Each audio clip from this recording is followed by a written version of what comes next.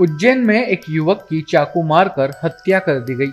घटना देवासगेट थाना क्षेत्र के हीरा मिल की चाल में हुई, जिसके बाद क्षेत्र में सनसनी फैल गई। देवासगेट पुलिस मामले की जाँच में जुट गई है। घटना रात करीब साढ़े दस बजे की बताई जा रही है। एडिशनल एसपी रविंद्र वर्मा ने बताया कि हीरा मिल की चाल निवासी अमन उर्फ़ सानू, पुत्र सत्यनारायण बैरागी, रात में घर के बाहर था। तभी कुछ युवक आए और उस पर धारदार हथियारों से हमला कर दिया। आरोपी हमला करने के बाद वहाँ से भाग गए।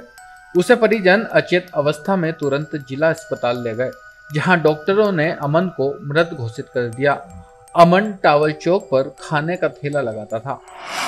मदद की सूचना मिली थी क्या मामला है देवास गेट थाना क्षेत्र में हीरा मिल की चाल है। वहाँ पर एक अमन बैरागी करके एक लड़का है जिसका मर्डर हुआ है। अभी पूछताछ चल रही है और आरोपियों के नाम भी क्लियर हो चुके हैं और हमने एक टीम लगा दी है उसके तलाशी के लिए और जल्दी उसको गिरफ़्तार करके घटना का खुलासा करेंगे। अभी कारण तो स्पष्ट नहीं हो पाया है, पूछताछ जारी है और जल्दी इसका खुलासा करेंगे। इसमें तीन आरोपी बताए जा रहे हैं।